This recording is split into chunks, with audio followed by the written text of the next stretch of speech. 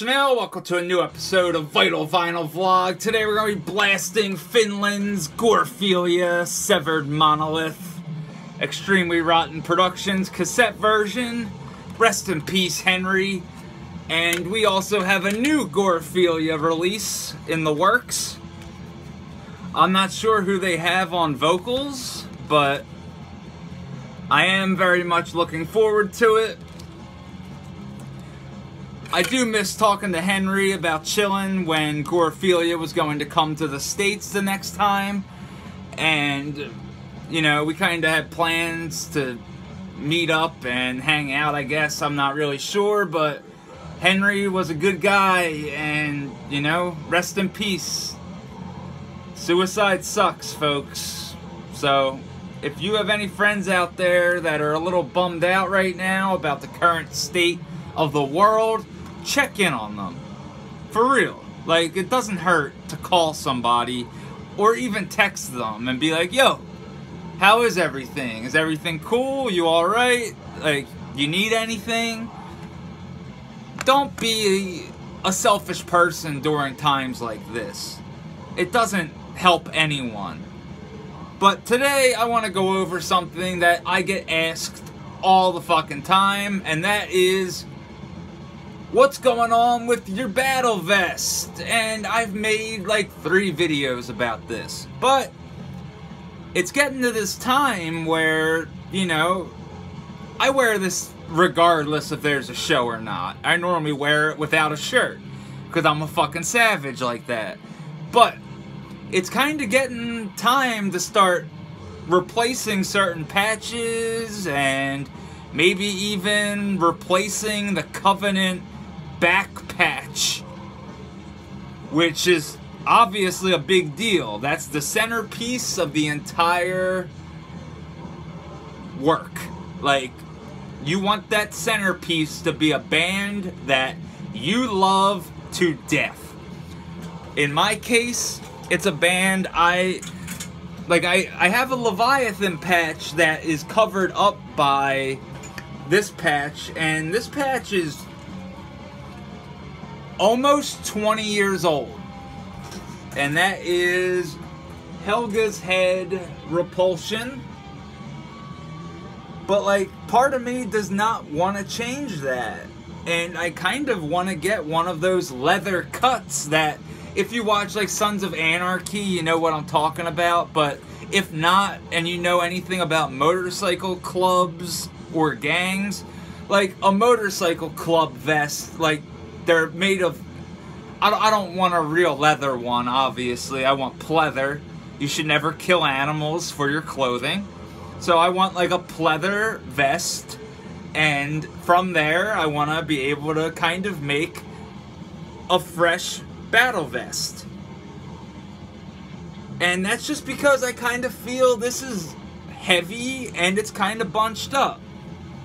And then there's certain pins that are just annoying. Like they look super sick, but somebody cut some corners and instead of putting like two of these, you just have one and no matter what, you know, it spins and it just, it gets annoying. Where you have maggot stomp pins that are the fucking shit. They don't mess around. It's always double pinned up and yeah, it's good shit. Trust me. Anytime you see that Maggot Stomp is, you know, releasing pins, get on that shit if it's a band you fucking like. Or if they're just doing some for a band, grab one on tour. Like they had these fetid ones that were so sick looking, but I didn't have the money to grab one. Like, I have a Mortiferum 1 on my one beanie, and it's just such a sick fucking pin. But there's a bunch. This one, a Larry. Blood Incantation, Star Spawn. It's so well detailed. I, I fucking love it. And then there's the Abducted at Birth, glow in the dark Cannibal Corpse mock-up pin. They got a cease and desist for using the actual Butchered at Birth baby. So they made it an alien, which I think is way fucking cooler anyway. And that's actually next to a Mortiferum pin as well. Very, very well done. But this shit, it starts getting heavy. And that's what I mean. I kind of need to start either lightening that vest up or just starting anew whenever I can get fucking the proper amount of money. But I'm gonna go over if I was to start a new patch. If I was to start a new back patch today, fuck my life. If I was to start a new vest today, here's what I would put on it. Main back patch. Yeah. Impure, Satan's Eclipse, like if you follow me on Instagram, you know I listened to this record and damned fucking religiously, pretty much, for lack of a better word. I love this fucking album, and I have the smaller patch on my vest already, which is kind of why I want to start a fresh one and use this as the main back patch. Because it's fucking amazing, and it was a gift from Salpson. So, fucking hails. I love that back patch but we have a lot to go over. And one of these is going to end up on a baseball cap, and this is probably going to be that hat though. That patch that's going to go on the hat. I don't have a good example in front of me, but like, like I would never get rid of this hat. This hat is old as fuck. It's been through it, but I'm just for an example, like obviously this wouldn't work because the piece too big and the material is way too thick. You want to get one of those dad hats with like the fucking belt buckle on the back. But I would love to sew that Hyperdontia patch like on the front of a baseball hat and save myself like 25 fucking dollars. But I love that patch again. Like it's fucking sick and it would be great on a hat. Next up, I love this Nuclear War Now fucking logo, and thank you, YK. Pretty sure Roke did this, or Rock, I always forget how he pronounces his name, but fucking sick as hell. That looks so goddamn cool. But that will go somewhere on the vest. And I always kind of felt weird about having two separate record labels on the vest, but if they're on two separate sides, it doesn't matter. But this Dark Descent patch is so fucking badass. Like, as a Conan the Barbarian fan, especially, because you have Thulsa Doom's logo, so technically you can use it for two different things. But I love that fucking design. I always have. Hails to Matt at Dark Descent Records. Next up, this is a filthy one, but Last Days of Humanity. Some gore from the Netherlands. That's going somewhere on that vest, and it's gonna be nasty. Because alongside that, we're gonna have an Impetigo patch as well. This cassette has already been pre-ordered. I cannot wait. It looks like they're using alternative artwork for the cassette, but yeah, fucking sick, sick shit. I was actually watching Cannibal Ferox earlier last night, and that scene is definitely in that film. Sick shit. And yeah, this is just gnarly looking.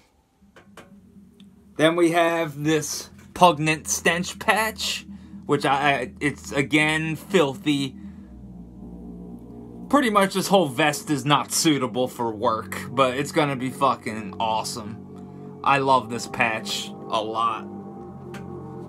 This one too, just based off the color, like I think this fluids patch, it just looks sick as fuck. Like I might even put this on my uh, brown shorts. I just think it would look cool.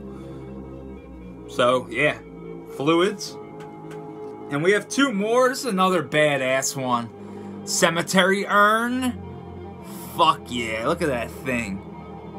It's barbaric as fuck.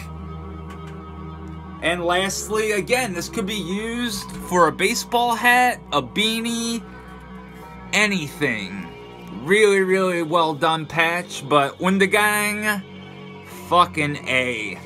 But pretty much, that's what I would use if I was to make a fresh back, a fresh battle vest slash battle jacket, whatever the fuck you want to call it. That's what I would use if I was to start from scratch or update this one. Because this definitely needs to be updated. There's like a tomb mold patch still. I don't really fuck with tomb mold like I used to. And then there's like some filler shit, but it's not really filler shit. It's just I didn't do a good job of actually putting it on, like this master pin patch and this morbid angel patch. I kind of did it sloppy. Everything else is fucking sick, and I kind of like it. But like I said, it's gaining weight with the more pins I put on it. So it's about time to switch things up and get a new battle vest. So if I do get one and you are actually curious for some reason of what's going on it, it's mostly going to be this. So hopefully that gives you an idea. And if you've never heard of any of these bands, definitely check them out. And congratulations to the boys in Necrot for being on the cover of the new Decibel. And also getting Anatomia, Faceless Burial, and Bolt Thrower on the cover. Fuck yeah to Chad, Luca, and Sonny. They have an amazing, amazing interview in here it's worth picking up. Like, seriously, I would grab the new Decibel just for this Necrot interview. It's great. And, as always, thanks for watching. You fucking rule. We were blasting Finland's Gorephilia, Severed Monolith cassette version on Extremely Rotten Productions. And that is gonna be my Battle Vest update. So, as always, thanks for watching.